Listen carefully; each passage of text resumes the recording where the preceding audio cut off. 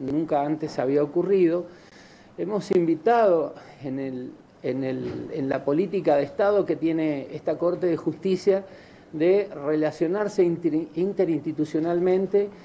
lo cual marca un ejemplo para todo el país, este, porque la relación interinstitucional es la que ayuda a que se vaya construyendo justicia y que la justicia sea más rápida eficaz y llegue a toda la gente.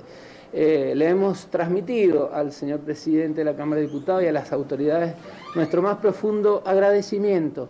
por la dedicación y el tratamiento que se le ha dado a las leyes que haciendo uso de la iniciativa legislativa ha enviado durante el año pasado y años anteriores este, al Poder Legislativo y que son las herramientas que necesitamos para transformar la justicia. Como también se le ha agradecido por el tratamiento rápido, eficaz y muy serio este, que los señores legisladores han hecho de las ternas que oportunamente enviara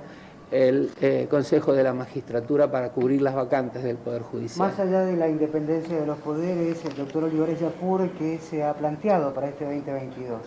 Bueno, eh, eh, va a haber una suerte de continuidad, así lo ha manifestado ya el próximo presidente de la Corte, el doctor Juan Victoria, que va a asumir el primero de marzo.